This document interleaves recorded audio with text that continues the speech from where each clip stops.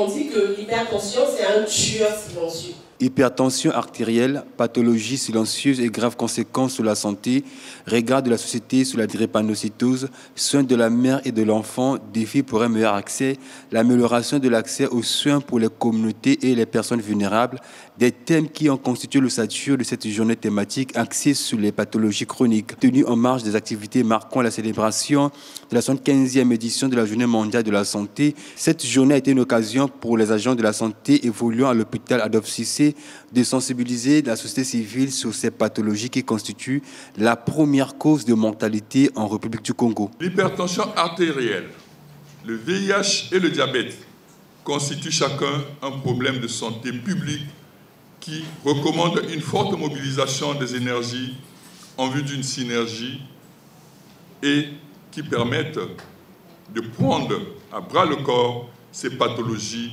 à tous les problèmes qui en, en résultent.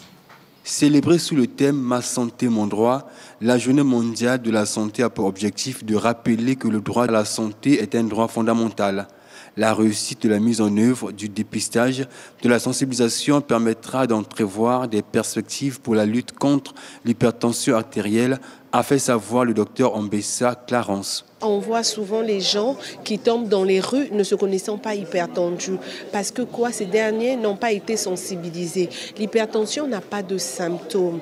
Donc, ce qu'on va demander à la population, c'est de souvent prendre, euh, euh, souvent prélever la tension, faire souvent des prises de tension afin que dès qu'on trouve qu'on a une tension supérieure à 14,9, on vient en consultation, même sans signe d'alerte. Le directeur de cabinet du préfet de Pointe-Noire, pour sa part, a souhaité la pérennisation de ces journées thématiques pour le bien-être des populations. Ici, le personnel dont vous êtes, vous faites beaucoup de bonnes choses que peut-être personne ne retient. Ça serait intéressant qu'on ait ce que fait l'hôpital général Adolphe Cissé et que l'hôpital à Cissé soit à la tête dans le département de cette politique d'éducation thérapeutique. Il faut oser. À l'occasion de cette 75e journée mondiale de la santé, plusieurs activités sont menées par l'hôpital Adolphe Cissé, entre autres des dépistages gratuits de l'hypertension et du diabète, la sensibilisation sur l'hépatite, le VIH, la drépanocytose et le cancer.